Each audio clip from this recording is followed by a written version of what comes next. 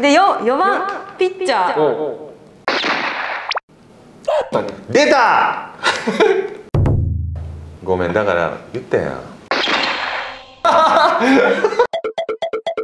ごめんごめん。しょうがないです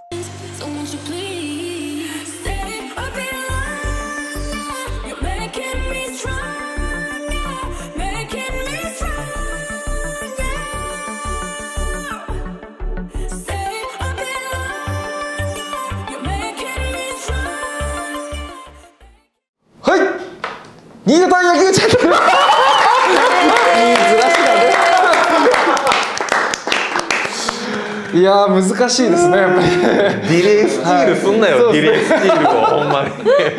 どうも入りが苦手で。あ 野球チャンネルの中山です。NGT48 のマッシーことマシモンカホです。どうも3時のパパマックスです。よろしくお願いします。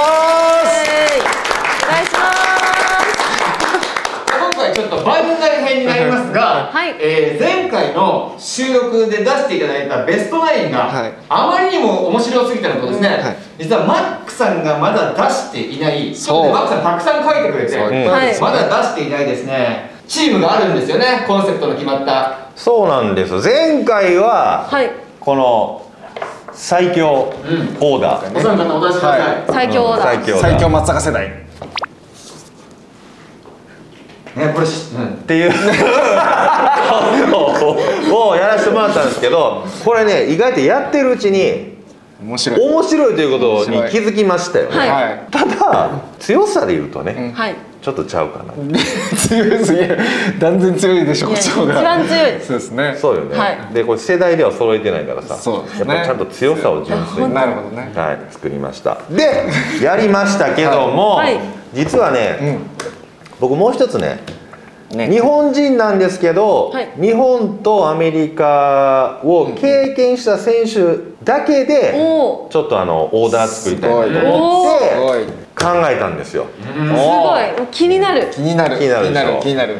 ピッチャーで挑戦した人の数が多いから、うん。同じポジションに何人もいるっていうのがちょっと複数にいるっていうのはできないんで、なるほどなるほど。あのー言っていいですか？ぜひ。ぜひぜひちょっといきますよ。はい、だ大丈夫ですか？これマシモさんに見せた方がいいんじゃないですか？ちょっと。わかわからないです。あそうかそうかそうか。だってあの生まれる前の人もそうですね。もうね幼少期の時で現役のプレーを見てない選手もいるからね、はい。えーっとじゃあ、えーはい。僕のお鶏がパパパパって走ったような、字が読めるかどうかは分かりませんけども大丈夫？はい大丈夫です。全然。もはやええやろ。いや 芸術。大丈夫？全然大丈夫です。大丈夫です。えー、っと じゃあ、はい、マネージャーオーダー発表して。今日のラインナップです。はい、えー、1番ライト。イチローおはいー。おー一応選手。2番ショート。カズオ誰ですかここが分からへんだよね。ここがどの分からへん。カズオですか？どのカズオそうでカズオこの和夫さんははい松井和夫君です、おお松井カズオはい。西武西武です。監督？カズです。おおですね。リトル松井って言われてる方ですあそうですね。リトル松井ですね。そうそうおー続いて、えー、3番レフト秀樹秀秀樹秀樹秀樹秀樹は秀樹分かる。樹はさすがに分かるでしょ。私の知ってる秀樹が合ってるのであれうん。ばこっちこっち。選んで選んで秀樹こっち。あ西条西条西条秀樹さん。ひどい。ひどい。ちーまる子ちゃん歌ってる。はい。そうそう。そそ西条秀樹さんで、なわけないですね。で遊ばないでくださいよ。はい。でよ4番ピッチャー。城谷ジョータニ。出た城谷ごめんだから言ったやん。大谷！大谷選ごめんごめん。しょうがないです今のマジ手いやもうマジですえー、次まして続いて5番。セカンド。井口井口さんね。ロッテの監ロッテ督。ねの監督。おーだからもうこの時点でやばい。2人 NPB の監督が出てきてますか？らああそうだ。すすごい。でちなみに井口さんは、はい。ワールドシリーズのチャンピオンリングを持ってますから、ほこれはもう宝くじ当たるよりもうはい。もうすっごい確率があー難しいと思う。うん。すごい。そう。続いて6番。サード。岩村。およう読めた。よう読んでくれた。岩村はい。はいガンちゃんね。はい福島、は福島の独立リーグの監督ですねはいいガンちゃん、岩岩村君はあーワールドシリーズ出場経験ありだけど、はいチャンピオンリングは取れなかったんです。惜しかった。でもそれでも素晴らしい経験や。そんなとこで野球できたらいいよねいいで。すね次7番、はいキャッチャー城島そうか、城島になっちゃうねや。城島？城島城島。選手。城島。選手。TOKIO の城島じゃないですかね。キャッチャーで初めて、あのー日本人としてキャッチャーでプレーしたメジャーでプレーしたあー選手。はい。続いて8番。ファースト筒香。あ。うん。は筒香選手。ね。そうそうそうそう。これはもうあの巨人私のオーダーにも入れさせていただいた筒香選手、そうですただねファーストがねやっぱねなかなかいないんですよ。はなぜかというと、やっぱりファーストって日本でもアメリカでもそうなんですけど長打力のある、はい。そして少し動けない選手が守るポジションなんですよ。あファースト。うん、だからホームラン打つ選手がファースト守るんですね、はいはい。はい日本人でホームラン打つ人で最初に行ったのが松井さんじゃないですか、うん。はいでもファーストじゃないんですよ、うん。うん、で筒香選手もまああの器用ですよね。うん。向こうではちょっとユーティリティみたいな感じで内野も外野も守れるっていうところで、ファーストも守ってるということでファーストを、はい。おに入れました、なるほどなるほど。うん。ただまあレイズではねちょっとこう納得いくようなシーズン、うん迎えてなかったんですけども、やっぱりパイレーツ行ってからねねそうですね。変わりましたね。うん。苦労した分こう爆発力が終盤シーズンありましたよね、そうですね。うん。今年はちょっと期待したい。そうですね。今年も楽しみということで、はい。続いて9番センター田口。おおわかる？田口さん。田口さんと言いますと、あの私巨人のピッチャーに田口選手が、あはあいやヤクルトからねはい。移籍した。い、ヤクルトに移籍してしまったんですけどというイメージ。田口壮さんって言って壮さんうん、あの今年あ去年オリックスが日本シリーズ出てきましたけども、はい。日本シリーズ前回出てきたのがもう何十年も前なんですよ。イチローさんとかはい。田口さんがい。た時のオリックスなんですよ。はでこの田口さんがセンターを守って、はい。イチローさんがライトを守る。でレフトを谷義智さんが守るという。谷涼子さんのそう谷涼子さんはい。の旦那さん。あえそんなすごい黄金時代というか。そうそう黄金時代だったんですよ。すごい。うん。プラス、はい。田口さんはなんと、はい。ワールドチャンピオンリングを2つ持ってます。ああすごい。2つ。2つ？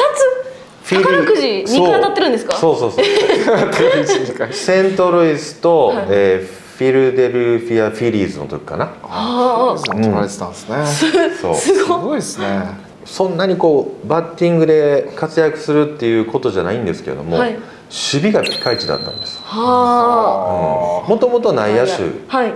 で投げ方とかもすごく器用で,、はい。で外野に守って身体能力高いですから、普通の外野の選手よりもボールを速く内野に返したりとかはあ。正確に投げれるっていう能力がすごく評価されてでは足も速いし、はい。だからもう守備固めの選手ですごくこう、あの重宝されたんですよ、へー。でも苦労してるんです、はい。オリックスからメジャーに挑戦してやっぱメジャーに上がれずにはい。マイナーを経験して、そうだであの黒暗いね街をね一人でこう球場から家に帰る田口さんを見かけたことも僕何度かあったりとかして、うん。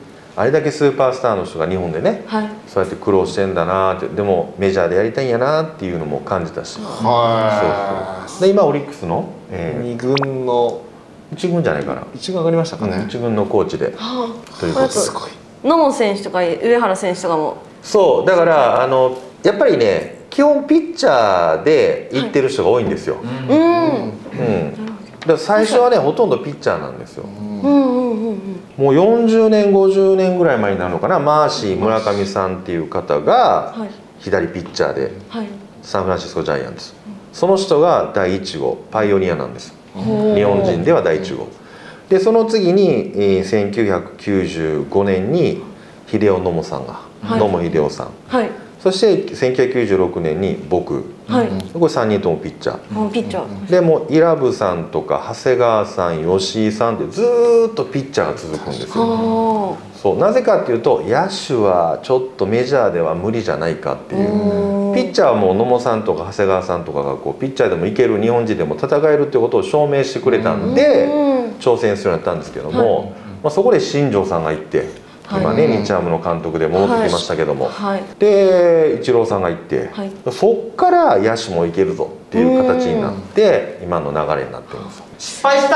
ー こんなにいい話もらえるんだったらちょっとピッチャーのこう先発とか、うん。あの抑えとか、うん。その辺選べるようにしとけばよかった。そうだから抑えは上原をそうですよね。入れてるんですなるほよ、どなるほど、うん。やっぱりリング持ってるしで同級生ですし。なるほど。ええすごいな。同級生多いんですよ。立山でしょ、はい。でまあ松井和夫上原あ高橋久。ほはあでえっとねもっといるんですよ。え？すごいすごいすごい。そうそうそう面白すぎてちょっと、マックさんの前回のチームと戦わせたいもん確か面白いよね。面白いです。うん。ムいや。にでこれ全員でだってこのワールドシリーズのリング持ってらっしゃる方結構いらっしゃるじゃないですか。いる。これ前回のオーダーオーダーの中にはどなたがだからねらっしゃる？あいい質問だからイチローさんメジャーで20年ぐらいプレーしたじゃないですか、はい。20年メジャーでプレーしたけども持ってないんですよ。あら、えそう。でオリックスにねディクソンっていうピッチャーがいたの。はああいますね。右ピッチャーね。ディクソンそうでディクソンは田口さんがセントルイスで優勝した時かどうかちょっと分かんないんですけども、セントルイスが優勝した時のレギュラーシーズンにちょっとだけメジャーに上がってるんですよそしたらリングをもらえる権利が発生するんですよ。へえそうなんだ。そう何試合しかメジャーで投げてないんだけど、それでリングもらってるんです。はアメリカで野球をするならここだぞっていうゴールをみんなで目指してその間に引退していってここに到達しない人がたくさんいる中で2つ持ってる人がいるという、いやーすごいな、い運もある。あるんですね。運やねやっぱね。いやありがとうございます。ちょっと番外編私のわがままで撮らせていただきました。いやがお時間ない中。だいぶ楽しい時間になりました、はいはい。ありがとうございました、はいということで新潟野球チャンネルのチャンネル登録もよろしくお願いします。お願いします。お願いしますまた来週。はーい